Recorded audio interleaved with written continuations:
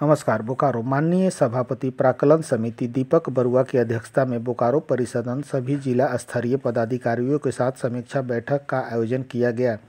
समीक्षा बैठक के दौरान उप विकास आयुक्त जय किशोर प्रसाद द्वारा माननीय सभापति एवं प्रकलन समिति के सभी सदस्यों का स्वागत करते हुए बोकारो जिला अंतर्गत चल रहे विभिन्न योजनाओं के जानकारी दिया। इसके अलावा बैठक के दौरान बोकारो जिला अंतर्गत विभिन्न विभागों द्वारा संचालित योजनाओं का प्राकलन एवं खर्च का ब्यौरा, उपयोगिता प्रमाण पत्र के अलावा गत तीन वर्षों से चल रही व पूर्ण हो चुके योजनाओं की विस्तृत समीक्षा प्राकलन समिति के सभापति व सदस्यों द्वारा किया गया।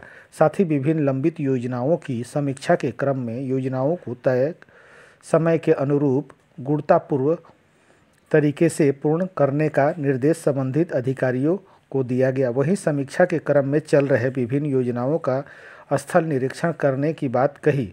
बैठक के दौरान प्रकलन समिति के सदस्य डॉक्टर लंबोदर महतो, बैजनाथ राम, अपर समाहर्ता विजय कुमार गुप्ता, कार्यपालक अभियंता भवन प्रमंडल बोकारो, कार्यपालक अभियंता विद्युत आपूर्ति प्रमंडल बोकारो, कार्यपालक अभियंता पथ प्रमंडल बोकारो कार्यपालक, अभियंता, पेयजल एवं स्वच्छता प्रमंडल चास संजय प्रसाद, कार्यपालक, अभियंता, पेयजल एवं स्वच्छता प्रमंडल टेनूघाट राम प्रवेश राम, कार्यपालक, अभियंता भवन लिमिटेड, बोकारो, जिला आपूर्ति पदाधिकारी, जिला कृषि पदाधिकारी, राजीव कुमार मिश्रा, जिला पशुपालन पदाधिकारी, जिला गभ्य विकास पदाधिकारी, समाज कल्याण पदाधिकारी, मनीषा वत्स, जिला कल्याण पदाधिकारी सहित अन्य उपस्थित थे।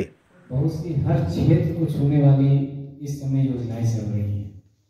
चाहे वो मजदूर हो, चाहे कोई विधवा हो, चाहे कोई बेरोजगार व्यक्ति हो मनरोधा वगैरह की योजनाएँ हैं। माने आपके अपलिफ्टमेंट के लिए, समाज के अपलिफ्टमेंट के लिए तमाम योजनाएँ चल रही हैं। आवास दिया जा रहा है तो चिकित्सा की सुविधा दी जा रही है। तो इस सारी चीज़ों का लाभ जब तक सभी व्यक्ति को न मिले जो कि इलिजिबल हो। तो हम समझते हैं कि योजनाओं को केवल कागज़ पर तैरने से कोई फ्लोटिंग करने से फ़ायदा नहीं होगा। अच्छा हर जगह, हर द्वार द्वार पर प्रशासन भी नहीं पहुँच सकता है कि आपको खोज खोज करके। तो आपको भी जागरूक होना ज़रूरी है। हमारे यहाँ इतने पैरम लीगल वॉल्टियर्स हैं और भी हमारे कंपेन जो चला रहे हैं, इसमें ऑफिसर्स भी इन्वॉल्व हैं, पूरा एडमिनिस्ट्रेशन भी लगा हुआ है। आप लोगों को जो ये कैंप ये कैंप बनाया जा रहा है, ये जो कार्य दिया जा रहा है, इसमें केवल इतना ही, जो लोग अपने से प्राप्त कर लिए या जिनको आइडेंटिफाई किया जा चुका है, किसी भी योजना का लाभ देने के लिए, उनको तो एज यूजल कोर्स मिलेगा लेकिन इस कैंप का मुख्य उद्देश्य ये है कि आप लोग फर्दर सोशल इन्वेस्टिगेशन कीजिए। कि कोई ऐसा व्यक्ति है जिसको कि गवर्नमेंट की योजना है, स्कीम है, उसका वो लाभुक हो सकता है, लेकिन वो छूटा हुआ है किन्हीं कारणवश। या किन्हीं टेक्निकलिटीज के कारण उसको जो है इसमें डिवाल किया गया वैसा भी हो सकता है कि कुछ कागजात मांगा जा रहा है, वो नहीं दे पा रहा है।